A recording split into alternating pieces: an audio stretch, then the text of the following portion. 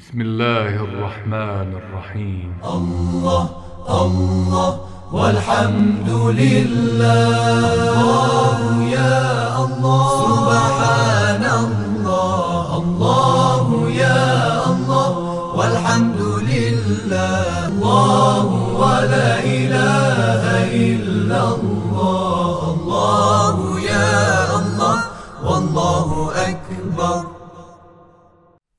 أعوذ بالله من الشيطان الرجيم. بسم الله الرحمن الرحيم وبه نستعين. الحمد لله رب العالمين والصلاة والسلام على سيدنا ونبينا محمد وآله الطاهرين. اللهم صل على محمد وآل محمد وعجل فرجهم واحشنا معهم ولعن من عاداهم. رب اشرح لي صدري ويسر لي أمري واحلل عقدة من لساني يفقه قولي. إخواني وأخواتي الأعزاء السلام عليكم ورحمة الله وبركاته. الدرس الخامس والعشرون الأحرف المشبهة بالفعل فيه ثمانية أبحاث. طبعا الأحرف المشبهة بالفعل هي القسم الرابع من من النواسخ. النواسخ التي تدخل على المبتدأ والخبر وتنسخ حكم الابتداء.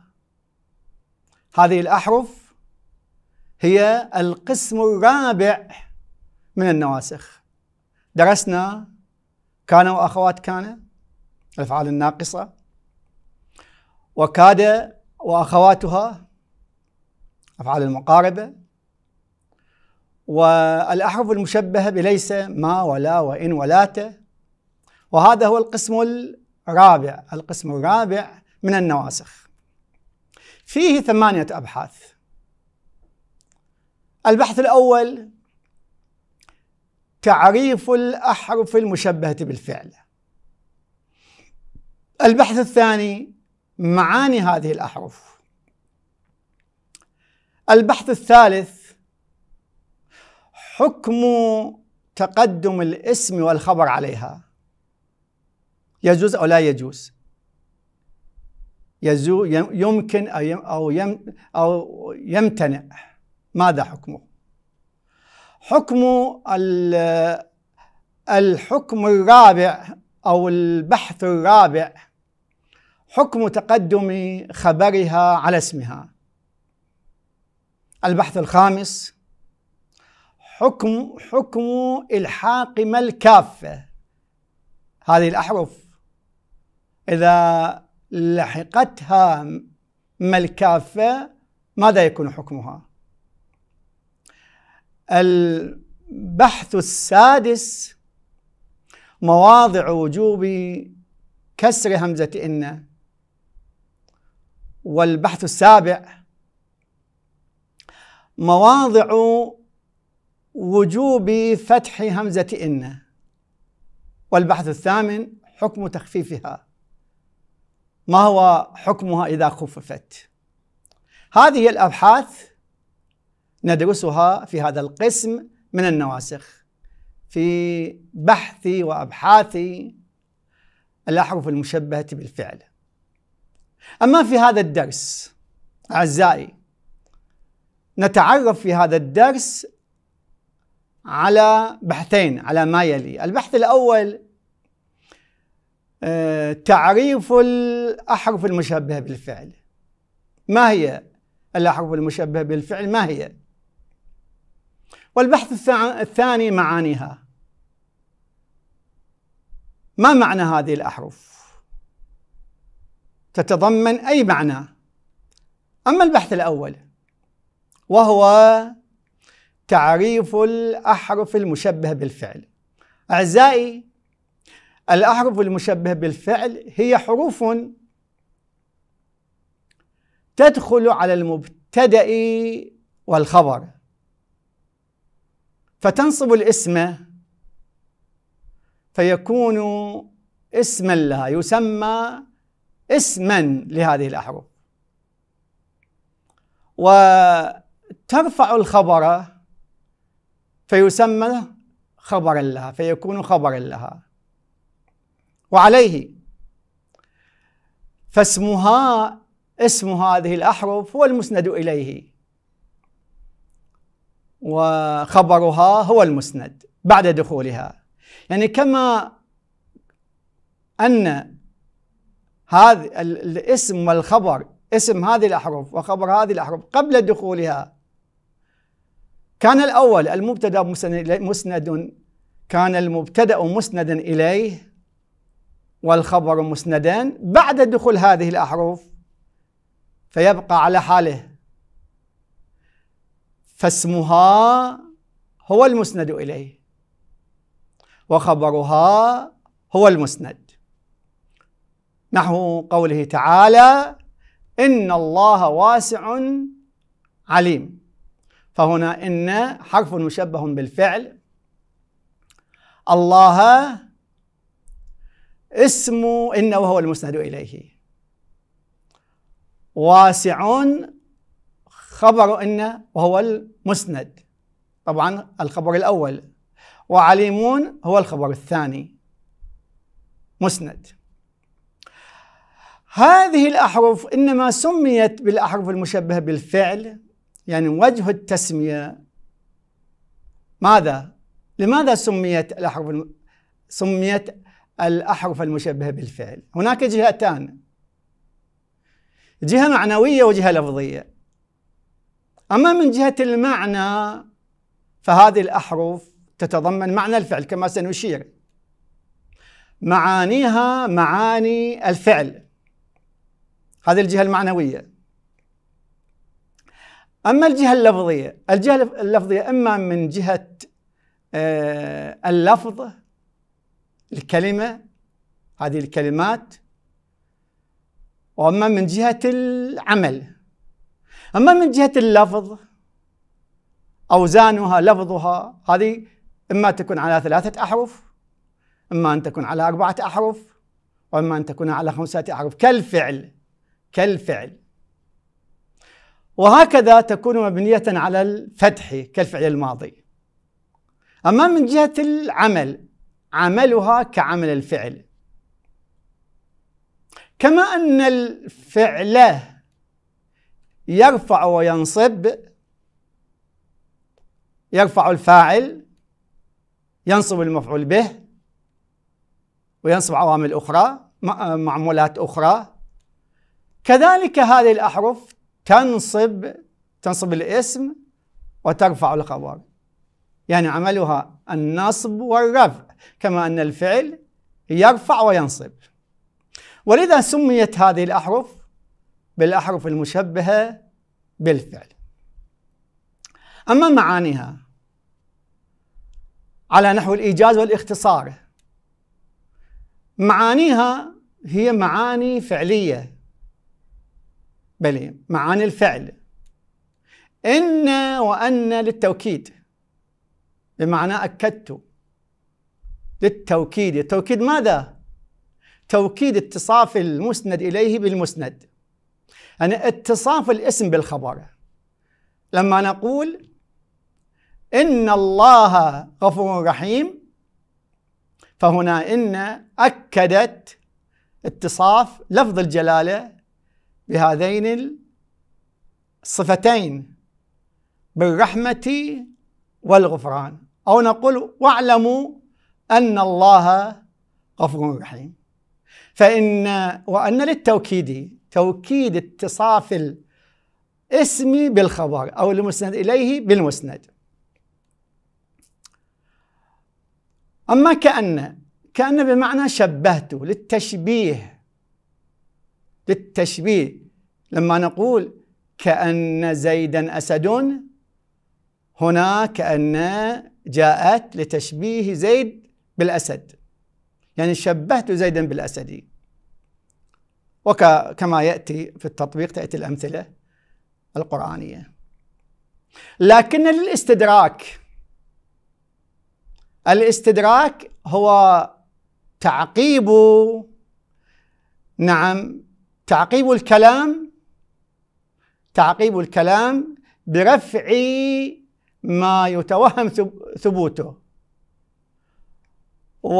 وإثبات ما ما يتوهم نفيه. يعني كيف؟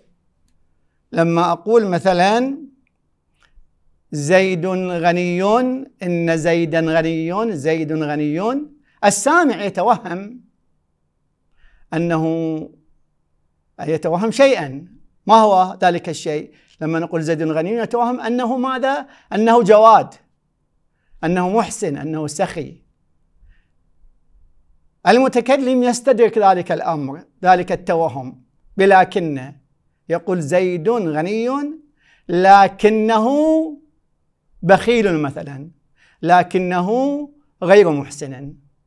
فهذه لكن استدراك ورفع لما توهمه السامع والمخاطب.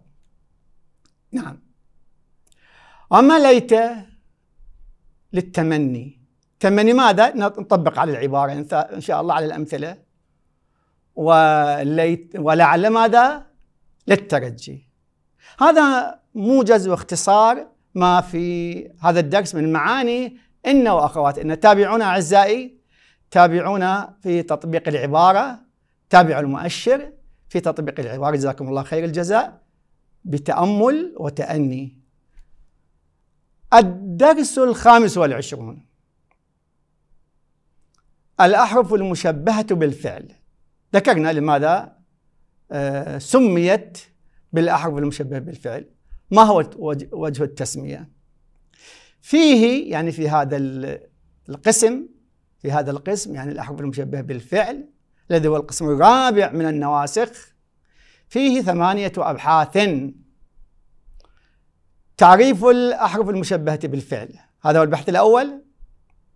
معانيها يعني معاني هذه الأحرف. حكم تقدم الاسم والخبر عليها. هل يجوز تقديمهما؟ هل يجوز تقديمهما على هذه الأحرف أو لا يجوز؟ ما هو حكمه؟ حكم تقدم خبرها على اسمها. هل يجوز تقدم خبر هذه الأحرف على اسمها؟ يجوز أو لا يجوز؟ نبين إن شاء الله في الدروس القادمة. حكم الحاق ما الكافة. هذه الأحرف إذا لحقتها ما ماذا يكون حكمها؟ لما نقول مثلا في إن إن زيدا قائم إذا قلنا إنما ماذا نقول؟ إنما زيدا أو نقول إنما زيد قائم. نبين حكم ذلك في الدروس القادمة. مواضع وجوب كسر همزة إن. ما هي المواضع التي يجو يجب فيها كسر همزة إن؟ يعني لا يجوز أن نقول أن بل يجب أن نقول إن. البحث السابع مواضع وجوب فتح همزة همزة أن. نقول أن ولا يجوز أن نقول إن. ما هي المواضع؟ التي يجب فيها فتح الهمزة فتح, فتح همزة أن. وما هي القاعدة؟ ما هي الضابطة هناك قاعدة وضابطة. نفهم منها آه، وجوب فتح همزة أن. والبحث الآخر والبحث الثامن حكم تخفيفها. إذا خففت ماذا ماذا يكون حكمها؟ نتعرف في هذا الدرس على ما يلي على بحثين من هذه المباحث والأبحاث الثمانية. الأول تعريف الأحرف المشبهة بالفعل. الثاني معانيها معاني هذه الأحرف. تعريف الأحرف المشبهة بالفعل وهي حروف ليست أفعال ولا أس وليست أسماء بل هي حروف تدخل على المبتدأ والخبر. ماذا تعمل؟ ما هو عملها؟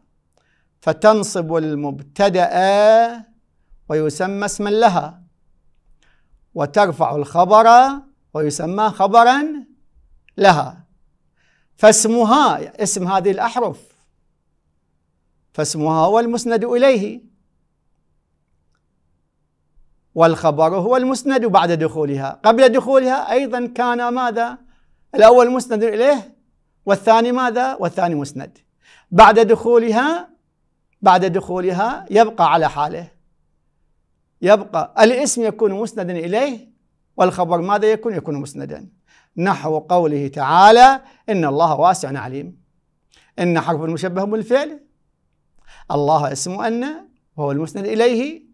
واسع خبر إن الأول وهو المسند. عليم هو ماذا؟ خبر إن الثاني. وهي إن هذه الأحرف ما هي؟ وهي إن وأن ستة أحرف. إن وأن وكأن ولكن وليت ولعل. ستة أحرف. أما معانيها معاني هذه الأحرف. نعم.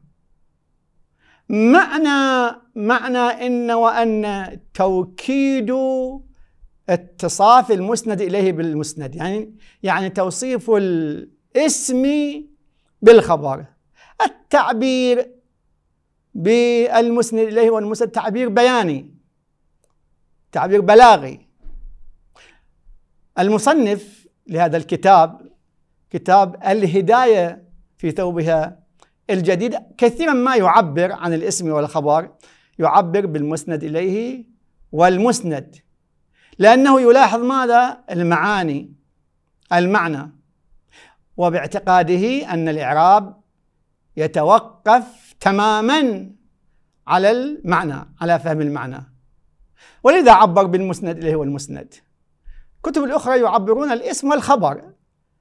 المهم علينا أن ننتبه ونفهم هذه التعابير. لما يقول معنى إن وأن توكيد اتصاف المسند, المسند إليه بالمسند يعني اتصاف الاسم الاسم بالخبر. نعم. هو عبر ماذا؟ بالمسند المسند إليه والمسند. نحو قوله تعالى إن الله غفور رحيم. لما نعرب هكذا نعرب أعزائي ما نقول مسند إليه ومسند نقول إن حرف مشبه بالفعل. الله اسم إن غفور خبر إن خبر أول رحيم خبر ثاني لإن. وإن كان في حيث المعنى لفظ الجلالة مسند إليه وغفور ورحيم مسندان. ونحو قوله تعالى واعلموا أن الله غفور رحيم. الواو حرف عطف أو حسب ما قبله نقول حسب ما قبله. ماذا يقتضي قبله؟ هل يكون حرف عطف أو استئناف أو غير ذلك؟ اعلموا فعل أمر مبني على حذف النون لأنه من من الأمثلة الخمسة من الأفعال الخمسة. الواو فاعل ضمير متصل فاعل. في محل رفع. أن حرف مشبه بالفعل. هذا من مواضع إن شاء الله نقرأ في فيما يأتي. من مواضع وجوب فتح فتح همزة أن بعد مادة العلم. أن حرف مشبه بالفعل الله اسم أن غفور خبر خبر أن أول رحيم خبر ثاني. نعم. أن واسمه وخبره تأو ماذا تؤول بالمصدر. والمصدر المؤول في محل نصب يسد مسد مفعولي. اعلموا. لذا يقول فغفور في الآيتين. الآية الأولى والآية الثانية خبر أول ورحيم خبر ثان ثان هذا بالنسبة إلى معنى إن وأن ومعنى كأن التشبيه نحو قوله تعالى فما لهم عن التذكرة معرضين كأنهم حمر مستنفرة فرت من من قسورة. الشاهد أين؟ كأنهم حمر مستنفرة. هنا كأن حرف مشبه بالفعل بمعنى شبهت بمعنى التشبيه هم اسم كأن الهاء اسم كأن هذا الضمير مبني على الضم في محل نصب والميم علامة الجمع. حمر خبر كأن مستنفرة صفة لحمر. نعم هذا هو الشاهد. ومعنى لكن الاستدراك معنى لكن الاستدراك. ما المراد بالاستدراك؟ لما نقول استدراك استدراك ما المراد بالاستدراك؟ هنا المصنف في الواقع في الحقيقة بين معنى الاستدراك بشكل جيد ممتاز جميل. لاحظوا؟ يقول والمراد به أي بالاستدراك. تعقيب الكلام. أي كلام؟ الكلام لما نقول زيد غني مثلا يأتي بالمثال زيد غني. تعقيب هذا الكلام برفع ما يتوهم ثبوته هذا التوهم من أين؟ من السامع من المخاطب لما المتكلم يقول زيد غني المخاطب والسامع يتوهم ماذا؟ أنه محسن أنه سخي أنه جواد نعم لكن المتكلم لما يقول لكنه غير محسن استدرك هذا التوهم. نعم. تعقيب الكلام برفع ما يتوهم ثبوته وإثبات ما يتوهم نفيه. أنه أنه غير أنه ماذا؟ أنه ليس ببخيل. نعم. بمعنى أن لكن تدل على أن ما بعدها مخالف للمعنى الفرعي. المعنى الفرعي ما هو؟ المعنى الأصلي زيد غني. ماذا يتفرع عليه أعزائي؟ ماذا يتفرع عليه؟ أنه جواد أنه محسن. نعم. هكذا يتوهم السامع. لكن المتكلم يقول لكنه غير محسن. استدرك هذا التوهم الموجود فماذا في ذهن السامع والمخاطب. بمعنى أن لكن تدل على أن ما بعدها مخالف للمعنى الفرعي الذي يفهم مما قبله مما يفهم, مما يفهم هذا المعنى الفرعي من الغنى. زيد غني. لذا هو يمثل بهذا المثال ويوضحه. يقول نحو زيد غني لكنه غير محسن. فالغرض من ذكر لكن ما هو الغرض؟ رفع التوهم رفع التوهم الحاصل من زيد من زيد غني. من هذه الجملة. فإن السامع حين الاقتصار لما يقتصر على زيد غني قد يظن ماذا؟ يظن أنه محسن. بسبب غنائه. بسبب أنه غني. فذكر لكن مع معموليها استدراك ورفع للتوهم. إن شاء الله واضح.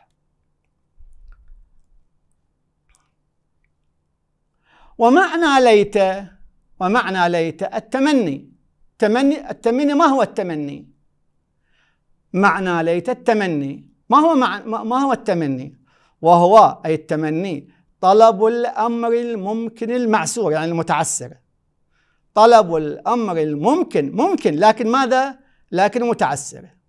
معسور المعسور. نحو قوله تعالى قال الذين يريدون الحياة الدنيا يا ليت هذا قولهم. يا ليت لنا مثل ما أوتي قارون. هذا ممكن. ليس مستحيل. لكن معسور متعسر. شاهد هنا ليت لنا مثل. ليت حرف مشبه بالفعل بمعنى التمني. وهنا طلب الأمر الممكن المعسور. لنا. جار ومجرور يتعلق بمحذوف. خبر ليت مقدم. مثل اسم ليت منصوب اسم ليت متأخر. مؤخر وهو مضاف ما أوتي قارون يعني الذي أوتي قارون. ما موصولة؟ أوتي فعل مجهول قارون. ما ماذا؟ نائب فاعل. نعم. ومثل مضاف إلى ما. أو طلبوا التمني أو طلبوا طلب الأمر غير الممكن. قد يطلب الإنسان شيء غير ممكن. نحو قوله تعالى يقول الكافر يا ليتني كنت ترابا. يا ليتني كنت ترابا. هنا ليت حرف مشبه بالفعل النون الوقاية الياء اسم ليت كنت ترابا. هذه الجملة خبر ليت وهذا أمر غير ممكن. أو كقول الشاعر فيا ليت الشباب أو ألا, ألا ليت الشباب ألا ليت الشباب يعود يوما. فأخبره بما فعل المشيب هذا هذا ماذا؟ طلب أمر غير ممكن. إذا ليت للتمني وهو طلب الأمر الممكن المعسور أو طلب الأمر غير الممكن. وأما لعل ومعنى لعل الترجي والإشفاق. ما معنى الترجي؟ ما معنى الإشفاق؟ يقول فالترجي طلب الأمر الممكن المحبوب. طلب أمر ممكن وذلك الأمر محبوب. ممكن يعني ليس مستحيلا. يمكن بل يمكن وقوعه. بل طلب فالترجي طلب الأمر الممكن المحبوب. نحو قوله تعالى واذكروا الله كثيرا لعلكم تفلحون. لعلكم تفلحون. نعم هنا لعل حرف مشبه بالفعل. الكاف اسم لعل في محل نصب الميم علامة الجمع تفلحون فعل مضارع مرفوع لتجرده من الناصب والجازم والواو فاعل. وهذه الجملة خبر لعل نعم الفلاح أمر الفلاح أمر ممكن ومحبوب. نعم هذا هو ترجي. والإشفاق هو الحذر. من أي شيء؟ هو الحذر من وقوع الأمر الممكن المكروه. يعني ماذا؟ يعني المتكلم يحذر المخاطب. يحذره عن ماذا؟ من وقوع أمر وهذا الأمر ممكن ومكروه. نحو قوله تعالى وما يدريك وما يدريك لعل الساعة تكون قريبا. هنا الشاهد لعل حرف مشبه بالفعل. الساعة اسم لعل منصوب. تكون فعل مضارع مرفوع لتجرده من الناصب والجازم. وهو فعل ناقص واسمه ضمير مستتر تقديره هي وقريبا خبر تكون. والجملة تكون قريبا هذه الجملة خبر لعل. ووقوع الساعة أعزائي أمر ممكن ومكروه بالنسبة إلى المخاطب. والمتكلم يحذره من وقوع هذا الأمر الممكن المكروه. هذا والسلام عليكم ورحمة الله وبركاته. دمتم موفقين إن شاء الله. اللهم صل على محمد وآل محمد. اللهم صل على محمد وآل محمد. اللهم صل على محمد وآل محمد.